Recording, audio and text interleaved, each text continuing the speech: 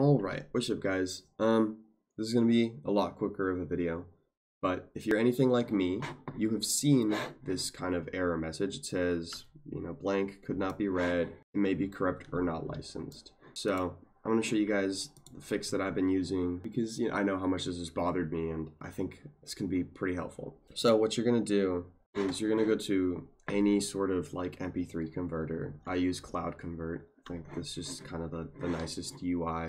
But you drag the file that you have and you convert it to whatever audio you want. So uh, usually these are downloaded as MP3s off of YouTube. For example, this audio file in, in particular is a wave already. And if I want to keep that same audio quality, I'm going to convert it back to a wave. Hit convert, uploads, processes, whatever, and you hit download. And it should download onto your computer. Here's the fix, and I'll just call this fix easy. And then you can go back to your DAW and just drag and drop the fix file. And it should work. Tooks, is that you from the floss? Oh, that's crazy. Hey, hey, yeah, yeah, yeah, yeah, yeah. Alright, thanks for watching, guys. That's it. Adios.